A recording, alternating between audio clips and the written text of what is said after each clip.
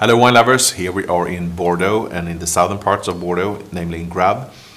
This is the Clos Floridene from uh, the famous winemaking consultant Denis Dubourdieu.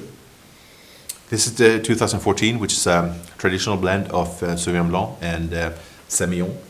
And it's uh, really open and uh, generous on the nose. It shows a um, good degree of ripeness and it's true that uh, the southern parts of uh, Bordeaux and Graves is quite warm uh, terroir, but it's really nicely vinified here.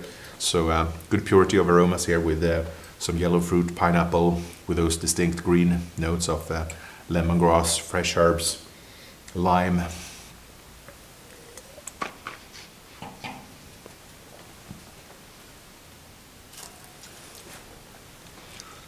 Mm.